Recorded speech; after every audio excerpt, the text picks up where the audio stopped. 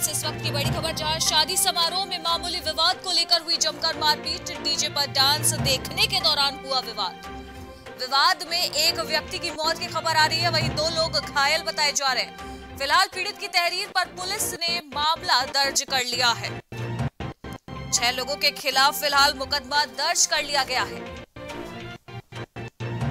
खुजैनी थाना के पास के कसुमापुर का ये पूरा मामला इस वक्त हम आपको बलिया से बता रहे हैं, जहाँ पर शादी समारोह में मामूली विवाद में जमकर मारपीट की वारदात सामने आई है, जहाँ पर डीजे पर डांस देखने के दौरान विवाद छिड़ गया। आपको बता दें कि इस विवाद के चलते एक व्यक्ति की मौत हो गई है। वहीं दो लोग घायल बताए जा रहे हैं। फ़िलहाल पीड़ित की तहरीर के आधार पर पुलिस ने ये पूरा मामला दर्ज कर लिया है, जिसमें छह लोगों के खिलाफ मुकदमा दर्ज किया गया है।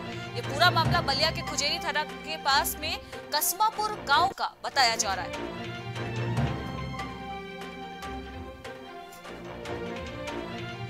बलिया से इस वक्त हम आपको पूरा मामला बता रहे हैं, जहाँ पर मारपीट की वारदात को अंजाम दिया गया है, जहाँ पर मामूली विवाद के चलते जमकर मारपीट की गई है, जिसमें एक व्यक्ति की मौत की खबर सामने आई है, वहीं दो लोग घायल बताए जा रहे हैं। फ़िलहाल पुलिस ने शव को कब्जे में लेकर पोस्टमार्टम के लिए भेज दिया है। इसी बीच मिर्जापुर से बड़ी खबर, जहाँ सपा कार्यालय में मनाया गया जश्न, जहाँ अखिलेश यादव और डिम्पल यादव की शादी के 23 साल पूरे होने की खुशी में आज केक काटा गया है। शादी की सालगिरह की शुभकामनाएँ भी दंपति को दी गई है। पार्टी कार्यालय लोहिया ट्रस्ट में केक काट कर जश्न मनाया गया है। तो मिर्जापुर से खबर बता रहे हैं, सपा कार्यालय में जश्न मनाया गया है। सपा सुप्रीमो अखिलेश यादव और डिम्पल यादव की शादी के तेईसवीं वर्षगांठ के अवसर पर कार्यालय में केक काटा गया।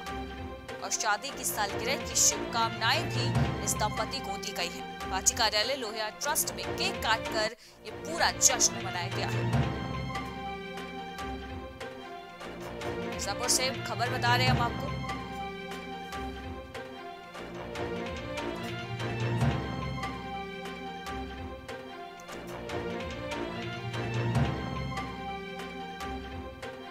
मिर्जापुर से खबर इस वक्त हम आपको बता रहे हैं, जहाँ पर सपा कार्यालय में आज जश्न का माहौल देखने को मिला है। आपको बता दें कि अखिलेश यादव और डिम्पल यादव की शादी के 23 वर्ष पूरे हो चुके हैं, जिसके अवसर पर तेईसवीं सालगिरह के मौके पर केक काट कर ये जश्न मनाया गया।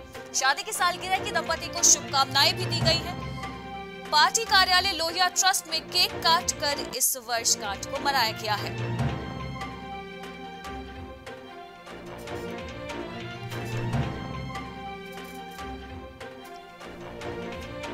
मिर्जापुर से इस वक्त खबर हम आपको बता रहे हैं। तस्वीरें आप देख सकते हैं किस प्रकार से सपा कार्यालय में वर्षगांठ को मनाया गया है।